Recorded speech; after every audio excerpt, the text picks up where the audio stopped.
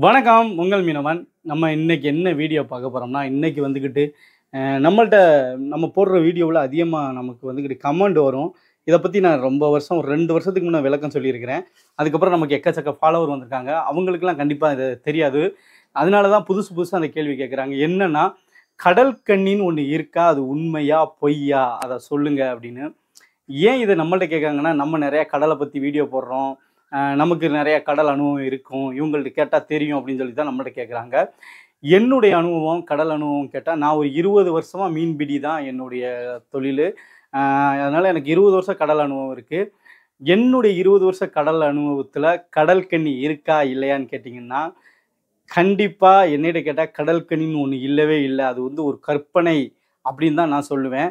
அப்போ இருபது வருஷம் தானே அதுக்கு முன்னையெல்லாம் ஒருவேளை இருந்திருக்கலாம். முன்னோர்கள் காலத்தில் கடல் கண்ணி இருந்திருக்கலாம். அது எப்படி நீங்கள் ஆணித்தரமாக இல்லைன்னு நீங்கள் சொல்கிறீங்க அப்படின்னு நீங்கள் கேட்கலாம்.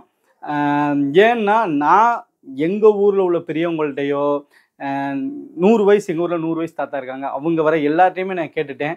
அவங்க கடல் பண்ணினா இருக்குங்க கடல் கண்ணிலாம் கிடையாது அப்படின்னு அவங்க ஃபன்னாக சொல்லிட்டு போயிட்டாங்க.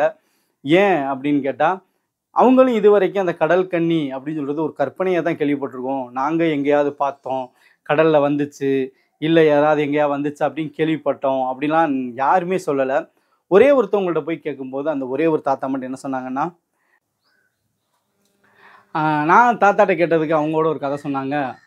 அந்த தாத்தா சொன்னாங்க அவங்க அப்பா காலத்தில் வந்துக்கிட்டு கடல் கண்ணி பார்த்தாங்க அப்படின்னு ஒன்று சொன்னாங்க. அது எப்படி ஆணித்தரமாக சொன்னாங்கன்னு கேட்டால் இல்லை அது ஒரு கதையும் தான் கதை மாதிரி தான் சொன்னாங்க அப்படின்னு சொல்லி சொன்னாங்க. என்ன அப்படின்னு கேட்டால் அந்த காலத்தில் அப்போ வந்து கரவலை வந்து முதல் முதல்ல வந்து ஒரு மீன் பிடி தொழிலில் எது வந்து ரொம்ப இதாக இருந்துச்சுன்னா அது வந்து கரவலை தொழில்னு சொல்லுவாங்க. அந்த கரவலை தொழில்னா கரை ஓரத்தில் வந்துக்கிட்டு வளைஞ்சு அந்த மீன் பிடிப்பாங்க. அது வந்து ஆதி காலத்தில் ஒரு முறையில் அப்படியே அந்த கரவலை பிடிக்க ஆரம்பித்தாங்க அப்போது அந்த கரவ கரவலை தொழில் வந்து பண்ணிக்கிட்டு இருக்கும்போது ஏதோ ஆளுக்கு வந்து விடிய காலம் வெள்ளனே அது வந்து அந்த கரவலை தோணி வளையிறதுக்கு போவாங்க. அப்படி வளையிறக்காண்டி போகும்போது யாரோ ஒரு ரெண்டு பேர் வந்து இருட்டில் உட்காந்து பேசிக்கிட்டு இருந்த மாதிரி இருந்துச்சு. அப்போ யாரா இந்நேரத்தில் இங்கே பேசிக்கிட்டு இருக்கா அப்படின்னு சொல்லிட்டு ஒரு ஆம்பளை குரலும் ஒரு பொம்பளை குரலும் கேட்டுச்சு. அப்போ யாரா இது பேசிக்கிட்டு இருக்கா அப்படின்னு சொல்லிட்டு அவங்க வந்துக்கிட்டு போய் பார்த்தாங்களாம். அதில் வந்து என்ன ஆச்சுன்னா அந்த பெண் கடல் கண்ணின்னு சொல்கிறது தண்ணியில் பாஞ்சு ஓடிட்டு அந்த கடல் கண்ணன் அந்த ஆண் உள்ளது மாட்டிக்கிருச்சு.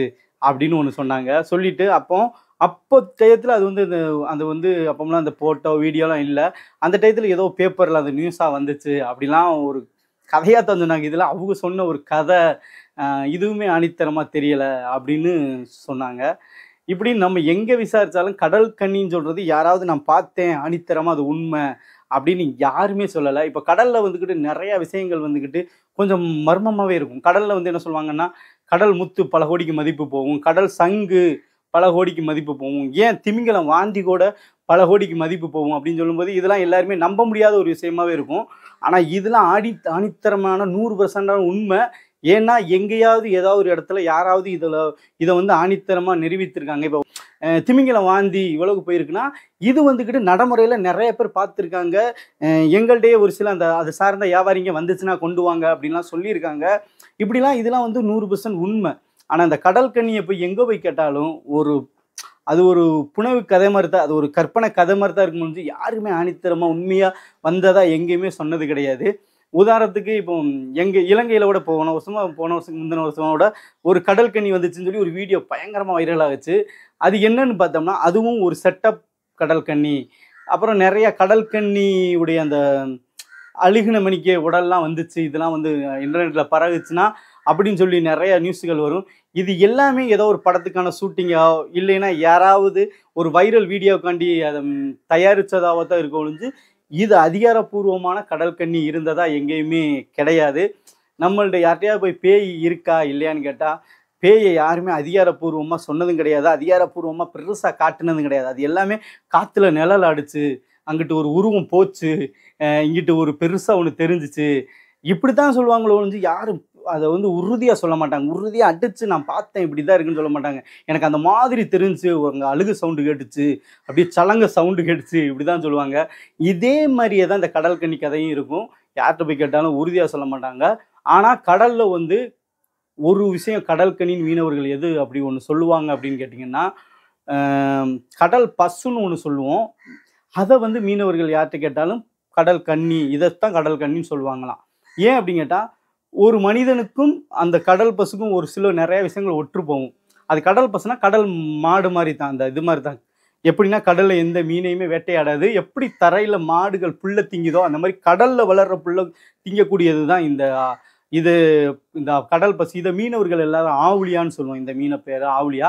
இதை கூட மூக்கையூரில் ஒரு தடவை கரை ஒதுங்கினதை நம்ம ஒரு பெரிய வீடியோவாக போட்டிருக்கோம். உண்மையிலேயே அந்த மீனுக்கு வந்துக்கிட்டு ஆண் மீனுக்கு வந்து உண்மையிலேயே மனிதர்கள் போலவே ஆண் உறுப்பு இருக்கும் அந்த வீடியோவில் கூட நான் தெளிவாக அந்த இதில் காமிச்சிருப்பேன். அதே மாதிரி பெண் ஆவுளியா மீன்களுக்கு மனிதர்கள் லேடிஸ் போலவே மார்பகம் இருக்கும். தன் குட்டிக்கு வந்து பால் ஊட்டும். அதே மாதிரி நுரையீரல் உள்ள ஒரு உயிரினமும் இதுதான். அதே மாதிரி இது மனிதரை போலேயே அழுகக்கூடியது. நான் இந்த ஆவுளியா மீனை தன் குட்டிக்கு வந்து பால் ஊட்டின மணிக்கு நான் கடலில் பார்த்துருக்குறேன். கடல்லே ஒரு பாலூட்டி இனம்னு சொல்லலாம். இந்த மீன்களை வந்து மீனவர்கள் எல்லாரும் இதை கடல் கண்ணி அப்படின்னு சொல்லுவாங்க. ஏன்னா மனிதருடைய ஒரு சில சாயல் இதுகளுக்கு ஒத்து போகிறதுனால மனிதர் போலவே இது வந்து அந்த அழுகிறது அந்த மனிதர் போலவே பால் ஊட்டுறது இந்த விஷயங்கள் எல்லாமே அந்த மனிதருக்கும் எல்லாத்துக்கும் ஒட்டு போகிற மாதிரி ஒத்து போகும் ஏன் அதுக்கு அந்த ஆவுளியா மீனுக்கு மீசத்தாடி கூட இருக்கும். அந்த மனிதர்கள் போலவே மீசத்தடிகள்லாம் இருக்கும். இப்படிலாம் இருக்கிற அந்த மீன் அஹ், மீனவர்கள்ட்ட போய் கேட்டால் இதை நாங்கள் கடல் கன்னின்னு சொல்லுவோம் அப்படின்னு. இதுதான் கடல் கன்னிக்கான வரலாறு. கடல் கனி இருக்கா இல்லையான்னு சொல்கிறதுக்கான ஒரு விஷயம்.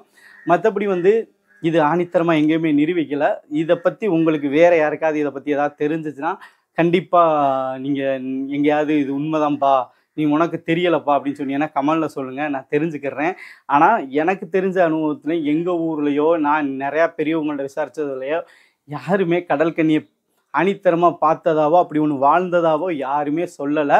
கடல் கண்ணி வந்து ஒரு காலத்தில் கற்பனையாக உருவாக்கப்பட்டது. கடலில் மனிதர்கள் இப்படி இருந்தால் இந்த மாதிரி இருக்கும் அப்படின்னு சொல்லி ஒரு கற்பனையாக உருவாக்கப்பட்டது அப்படின்னு தான் நிறைய பேர் சொல்கிறாங்க இன்னைக்கு இதை பற்றி நீங்கள் தெரிஞ்சிருப்பீங்கன்னு நினைக்கிறேன். வேறு ஏதாவது ஒரு கேள்வி இருந்துச்சுன்னா கண்டிப்பாக கேளுங்க. நான் அதை பற்றி நிறையா சொல்கிறேன் அடுத்து நீங்கள் ஒரு சில பேர் கடலில் பேய் இருக்கா இல்லையா? அதை பற்றி கொஞ்சம் சொல்லுங்கள் அப்படிலாம் கேட்குறீங்க அதை பற்றி நான் சொல்லணும்னு ஆசைப்பட்டீங்கன்னா கமெண்டில் சொல்லுங்கள் கண்டிப்பாக அதை பற்றி நான் சொல்கிறேன் அப்புறம் வந்து இந்த ஆவுளியா மீன் அதை பற்றி தெரிஞ்சுக்கன்னு நினச்சா நம்ம வீடியோ போட்டிருக்கோம். நம்ம வீடியோவில் பாருங்கள் அது உயிரோடையும் போட்டிருக்கோம். அதுக்கு இறங் இறந்து கரை ஒதுங்கி அந்த கடல் அவங்களோட அந்த மீட்ட வீடியோவும் போட்டிருக்கோம். இது ரெண்டுமே நம்ம சேனலில் இருக்குது. வேணும்னா போய் பார்த்துக்கிறோங்க நன்றி வணக்கம். அப்புறம் வந்து நம்ம இந்த மீனை வந்து போஸ்டர் போட்டு இது என்னதுன்னு கமெண்ட் பண்ணுங்க அப்படின்னு சொல்லி போட்டிருந்தோம். நிறைய பேர் இந்த மீன் பேரை கரெக்டாக சொன்னாங்க. பேத்த மீன் முள்ளு பேத்த பப்பர் பீஸ் அப்படின்னு சொன்னாங்க. இதோடைய பேர் கரெக்டு தான். பெப்பர் பீஸ்னு இங்கிலீஷில் சொல்லுவாங்க. தமிழில் வந்து நம்ம பேத்த மீன் அப்படின்னு சொல்லுவோம். முள் பேத்தையும் சொல்லுவாங்க. இந்த மீனை வந்துக்கிட்டு சாப்பிட முடியாது. இது கொடிய விஷம் உள்ள ஒரு மீன். ஏன்னா இதை நம்ம சாப்பிட முடியுமான்னு கேள்வி கேட்டிருந்தோம். அதுக்கும் சொல்லியிருந்தாங்க. இந்த மீன் வந்து ரொம்பவே விஷம் உள்ளது. அது அதில் வந்து சாப்பிட்றக்கூடிய இந்த மீனை அதிகமாக இப்போ வந்து சாப்பிட்றாங்க. ஆனால் இந்த மீன்லையுமே அதிக அந்த விஷம் இருக்குது. கவனமாக வாங்கி சாப்பிடுங்க. இந்த மீனை சாப்பிட்றதுக்கு வந்துக்கிட்டு சைனாவில் அதிகமாக சாப்பிட்றாங்க. ஆனால் இதை வந்து ஸ்- இந்த மீனை கட் பண்ணுறவங்க வந்து கிட்டத்தட்ட பயங்கரமான படித்து நாலு வருஷம் படித்து சர்டிஃபிகேட் வாங்கினவங்க மட்டும்தான் இந்த மீனை கட் பண்ண முடியும். ஏன்னா இது வயிற்றுக்குள்ளே இருக்கிற பாய்சனை அகற்ற அந்த டேலண்ட் அவங்களுக்கு தான் இருக்கும். அப்படிப்பட்டவங்க தான் இதை வந்து சாப்பிட முடியும் கட் பண்ணி கொடுத்து சமைச்சு சாப்பிடணும் அப்படின்னு சொல்கிறாங்க இந்த மீன் வந்து இப்போ லோக்கல் மார்க்கெட்டில் நடமாட ஆரம்பிக்குது. கொஞ்சம் கவனமாக வாங்கி சாப்பிடுங்க. ஏன்னா என்னதான் தெளிவாக கட் பண்ணாலும் நமக்கு அனுபவம் இல்லைன்னா இதை சாப்பிடும்போது இறக்க வாய்ப்பு இருக்குது ஏன்னா இலங்கையில் ஒருத்தவங்க சாப்பிட்டு இறந்துருக்காங்க இந்த மீனை சாப்பிட்டு.